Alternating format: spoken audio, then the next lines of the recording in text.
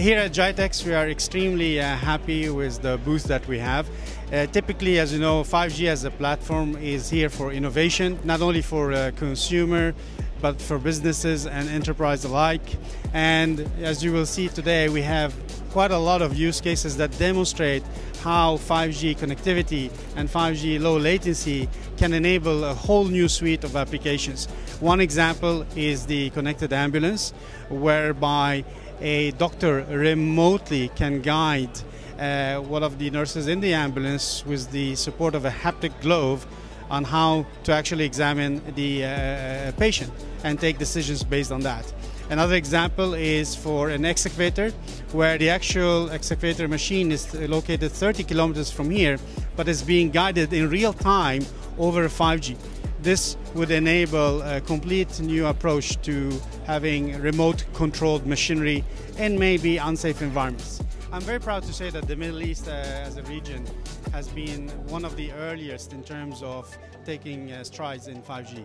Uh, many operators in uh, the Middle East have actually already launched 5G and very early compared to the rest of the world. Now, of course, with the advent of more uh, smartphones in the market, we will see that uptake uh, coming up and we will be learning a lot in terms of the use cases that will be most popular with 5G. Well, I think in 2019 we've seen now the early launches that I mentioned. At 20 and 21 we will see more of an uptake.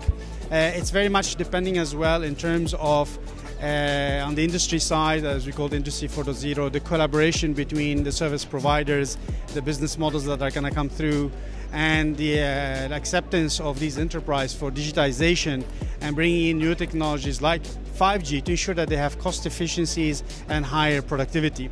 So today, Ericsson, for instance, have collaboration with 40 academias, you know, shy of 40 industrial companies in order to bring forth this kind of thought leadership best practices. So the coming months and coming year will be very exciting to see this being cemented. Yes, Ericsson has been uh, working on 5G research already since 2011, so it's a long journey.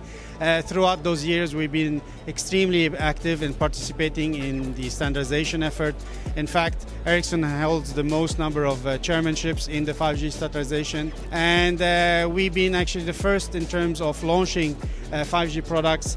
Uh, we've been uh, the first in launching commercial networks in the US.